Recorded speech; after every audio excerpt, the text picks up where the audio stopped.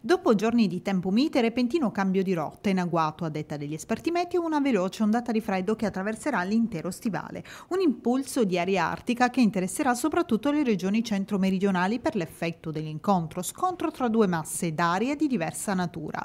Già da oggi quindi annunciato uno squarcio meteo, un graffio deciso alla primavera. Previsti acquazzoni temporali, anche di forte intensità, che potranno essere anche accompagnati da grandi raffiche di vento su Emilia-Romagna, Adriatiche, Dorsale e zone interne del centro.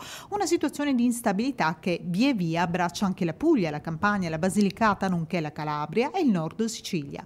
La colonnina di Mercurio perciò subirà un sensibile calo anche di 5-7 gradi. Aspirare venti in rinforzo tra Grecale e Tramontana. Nella giornata di mercoledì quindi ancora brutto tempo, con rovesci su Puglia, Molise, Calabria, Nord Sicilia, Abruzzo, Lucania e Messinese. Più soleggiato altrove. I venti saranno ancora forti di tramontana. Nella parte centrale poi di questa instabile settimana ancora fenomeni piovaschi sull'estremo sud con clima ovunque fresco. Insomma, il nucleo d'aria proveniente dal nord Europa riporterà l'Italia climaticamente indietro di qualche mese.